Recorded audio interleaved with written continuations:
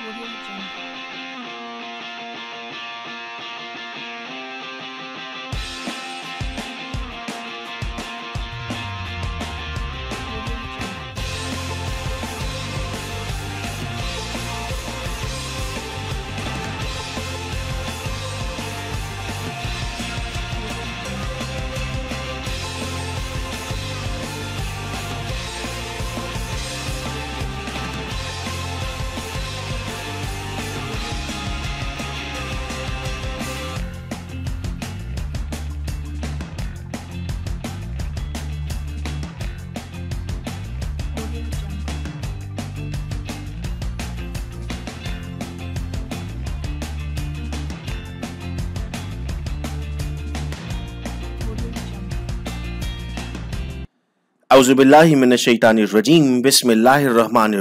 अस्सलाम वालेकुम बच्चों, में उम्मीद करता हूँ कि आप सब खैरियत से और आप सबको वेलकम एक मरतबा फिर ऑनलाइन क्लासेस में।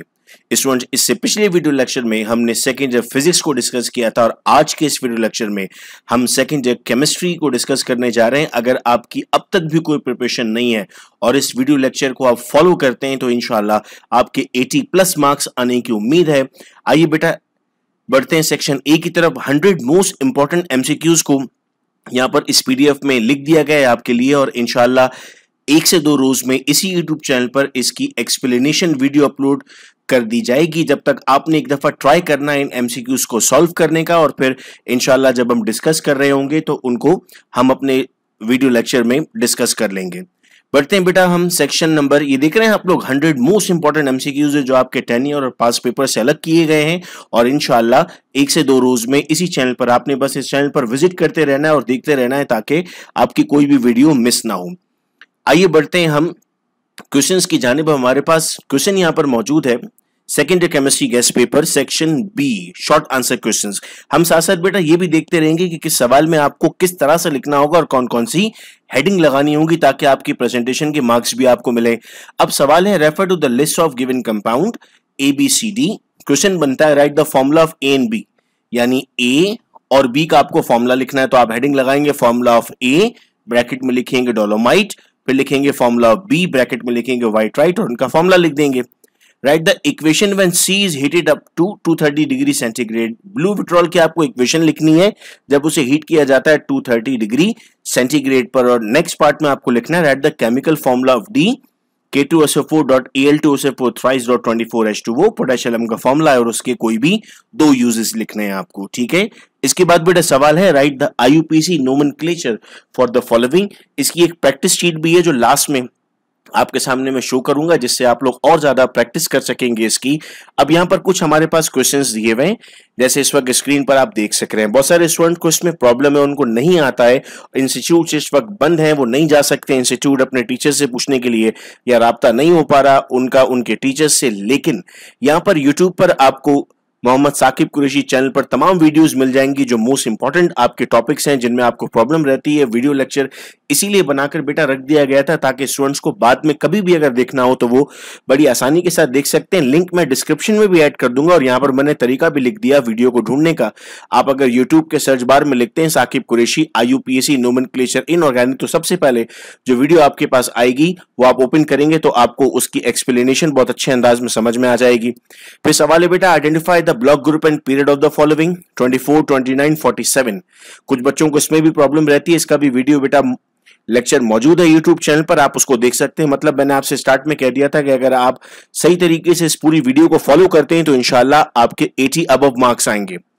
Why hydrogen is misfit in group one A and four A hydrogen की सिर्फ़ मिसफिट लिखना है मतलब आप बड़ी बड़ी हेड अच्छा बच्चे याद करके गए होते हैं डिसिमिलैरिटी पेपर में मिसफिट पूछा है ना तो आपको हेडिंग भी क्या लगानी होगी बेटा? मिसफिट ही लगानी होगी डिसिमिलैरिटी नहीं लगानी होगी।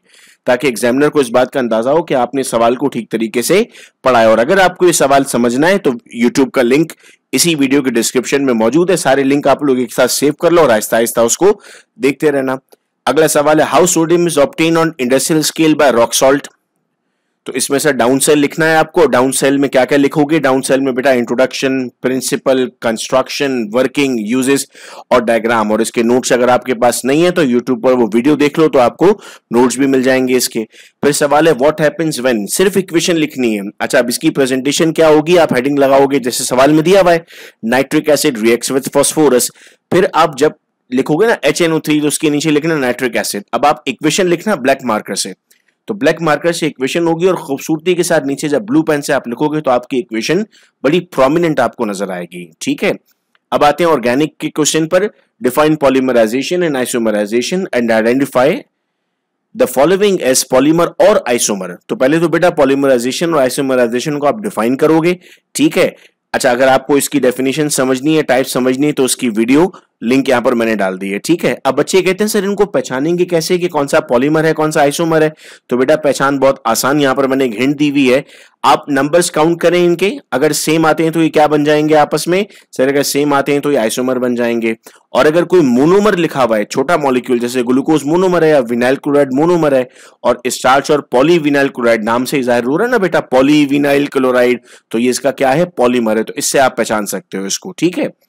फिर सवाल है why tertiary alkyl halide show S N one reaction tertiary alkyl halide क्यों S N one reaction show करता है? तो सर हम कहते हैं कि चूँकि इसमें तीनों तरफ़ अल्काइल रेडिकल मौजूद होता है, इसीलिए ये टू स्टेप रिएक्शन बन जाता है। वो बच्चे जिन्होंने पढ़ा नहीं है इसको या उसको और अच्छे समझना चाहते हैं तो बेटा ये वीडियो लिंक मैंने यहाँ पर ऐड कर दिया है। वीडियो लिंक देखकर आपको सवाल समझ में आ जाएगा। फिर इस तरह के जो सवाल आते हैं ना बेटा आपके पास, अब ये सवाल बड़े इंटरेस्टिंग होते हैं। रिएक्शन और रिएक्शन तो कोई भी आ सकता है, ये तो मैंने मॉडल पेपर से सिर्फ़ आपकी प्रैक्टिस के लिए क्वेश्चन डाल दिए हैं।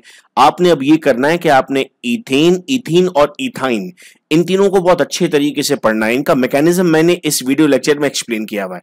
तो आप वक्त निकालकर छोटी छोटी वीडियोस हैं बेटा, मैं पूरी कोशिश करता हूँ कि 10 मिनट से एक्सीड ना करे कोई वीडियो ताकि आप इंटरेस्ट के साथ उसको देख सको और समझो। इथेन इथिन और इथाइन इन तीन वीडियोस का जब आप देख लोगे तो इनशाला कोई भी रिएक्शन आपको दे दिया जाए, आप वो गलत नहीं करोगे। फिर सवाल आता है IUPAC nomenclature for organic compounds मैं आपको रिकमेंड करूँगा कि ये सवाल करने से पहले एक मतबा अल्केन अल्कीन और अल्काइन की वीडियो ज़रूर देख लेना। इससे आपको पूरा कॉन्सेप्ट क्लियर हो जाएगा। बोर्ड पर एक्सप्लेन किया हुआ है कि किस तरह से आप नंबरिंग करेंगे और कैसे आप उसको सॉल्व करेंगे। प्रैक्टिस के लिए बेटा सवाल मौजूद है। फिर रिएक्शन है what happens when acetylene react with water in the presence of H2SO4 acetylene क्या होता है? सर एसिटाइलिन तो हमारे पास इथाइन को हम कहते हैं, ठीक है? फॉर्मल इज़ पॉलीमराइज तो मेटाफॉर्मल बनता है। Vapours of acidic acid pass over MnO2 ethanol in excess is heated in the presence of H2SO4 वो जो वीडियो लेक्चर मैंने आपको कह दी है, उनको जब आप देखोगे तो ये सवाल आपको बहुत आसान लगेंगे, सवाल रिएक्शंस में किसी भी तरह के पूछे जा सकते हैं।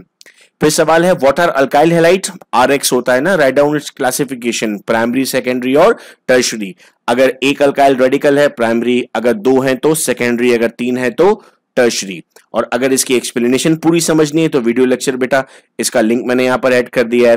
फिर benzene undergo substitution reaction justify the statement benzene substitution reaction करता है। आप जानते हो कि वो इलेक्ट्रोफिलिक सब्सिट्यूशन रिएक्शन करता है, ठीक है? तो इसकी एक्सप्लेनेशन भी बेंजीन की, पूरी बेंजीन की। अगर आप उसके मोलिकुलर ऑर्बिटल ट्रीटमेंट समझना चाहते हो या स्ट्रक्चर समझना चाहते हो तो बड़ी आसानी के साथ आप इस वीडियो पर क्लिक करके उसको समझ सकते हो। अब आते हैं बेटा डिटेल क्वेश्चन पे। Describe the extraction of 99.99% pure aluminium from bauxite और containing SiO2 and Fe2O3 as impurity तो इसमें आप क्या लिखते हैं, सर? इसमें 99.99 परसेंट तक आपको जाना है तो पहली हेडिंग में आप ओर्स लिखते हो सारे। ठीक है? अब आपको कहता है एस आई ओ टू और एफ़ टू ओ थ्री दोनों इंप्योरिटी हैं तो कौन सा मेथड लगेगा? सर हॉल्स मेथड लगेगा। इसको मैं अपने बच्चों को यूँ याद कराता हूँ कि अगर सिर्फ़ सिलिका होता है तो सरपेक मेथड लगता है। एस से सिलिका एस से सरपेक ठीक है? अगर दोनों होते हैं तो हॉल होता है ना, बड़ा जिसमें सब आ जाते हैं तो कौन सा मेथड लगता है? हॉल्स मेथड लगता है इसमें। फिर अगला सवाल है explain the production of H N O three by Ostwald process diagram लाजमी बनानी है आपको, ठीक है? ऑर्गेनिक केमिस्ट्री पे आते हैं।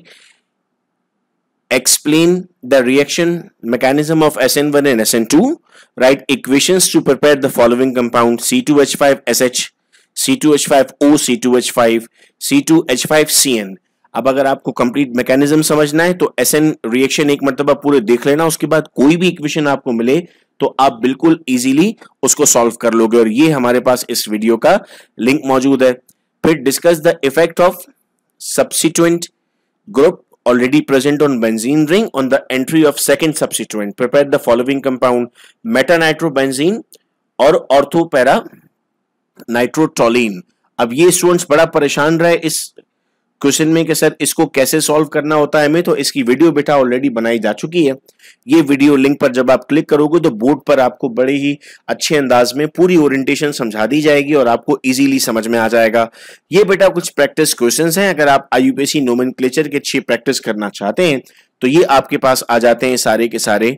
प्रैक्टिस करने के लिए मैं एक एक करके स्क्रीन पर आपके साथ शेयर कर रहा हूँ और जो लोग हमारे व्हाट्सएप ग्रुप का पार्ट हैं, उन्हें व्हाट्सएप पर भी ये पेपर मिल जाएगा। अगर आप व्हाट्सएप ग्रुप का पार्ट नहीं है तो आप zero triple three double two four three zero three one पर अपना नाम कॉलेज और क्लास भेज दें, ताकि आपको भी व्हाट्सएप ग्रुप में एड कर दिया जाए, ताकि आपके पास भी जो वीडियोज़ आए, वो फौरी तौर पर आपको मिलती रहे। बहुत शुक्रिया बच्चों, इस वीडियो लेक्चर को सुनने का शेयर कीजिएगा, दोस्तों के साथ अपने अपना बहुत ख्याल रखिएगा आप सब लोग। अल्लाह हाफिज।